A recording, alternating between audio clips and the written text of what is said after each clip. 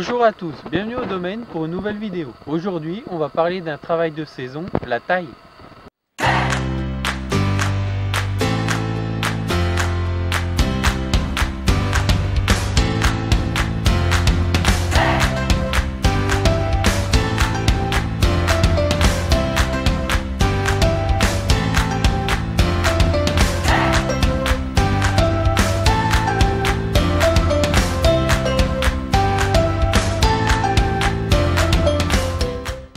Tout d'abord, présentation du matériel.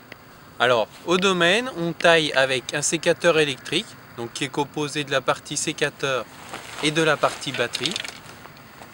Ah, c'est là où il y a le bug.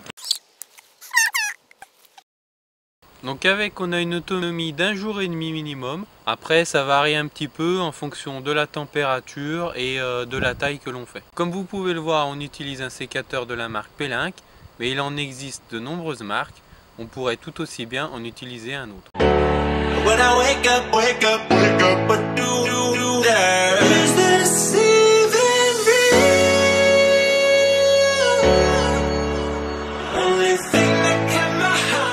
Maintenant, on va passer à la taille.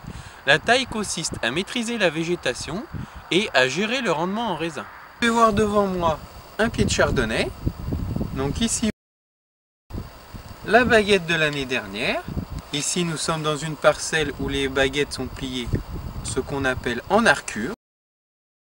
Elles font un arc. Je commence par regarder quel bois je peux garder pour le bio de l'année prochaine. Ce qu'on appelle un bio ou un courson, c'est la partie que j'ai laissée l'année dernière, à la taille précédente, et sur laquelle je vais pouvoir sélectionner ma baguette pour la prochaine récolte. Donc là, ici, j'ai repéré mon bio est ici. Donc je laisse ce qu'on appelle deux yeux ou deux bourgeons. C'est là-dessus que vont se développer les futures baguettes et qui produira les raisins pour la récolte 2020. Et après, je sélectionne ma baguette. Donc on peut voir à la base du bio, laissé l'année dernière, on peut voir qu'elle a fait un joli bois sur le premier œil et le deuxième œil, bois, elle a fait un petit bois. Donc je sélectionnerai le plus joli bois. C'est ce qui va donner ma baguette, là où vont pousser les raisins pour la récolte 2019.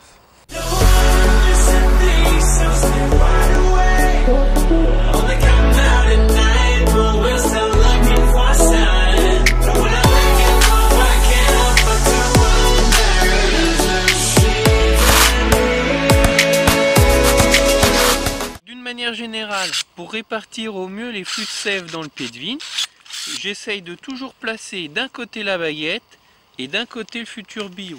Ça fait que la sève circule sur une plus grande surface sur le pied de vigne.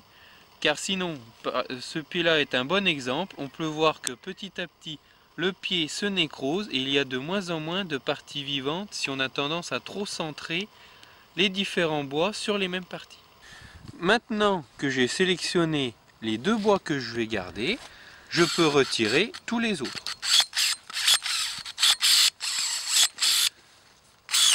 Je coupe la baguette, ou alors je la coupe à la base pour l'enlever, mais je la coupe en plusieurs tronçons tout simplement pour pouvoir retirer les bois des fils plus facilement.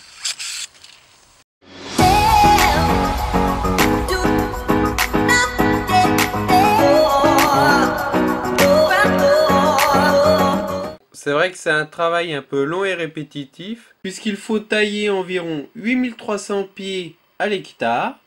Mais bon, le bureau est plutôt sympa et parfois en hiver, on a même le soleil. On réalise ce travail de mi-novembre. Je vous ai montré aujourd'hui la taille sur une parcelle de chardonnay.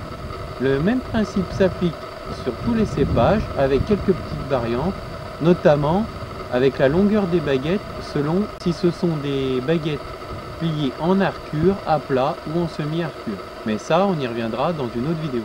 J'espère que cette vidéo vous a plu. N'hésitez pas à poser vos questions en commentaire. On se retrouve bientôt dans une nouvelle vidéo pour parler du tirage des bois.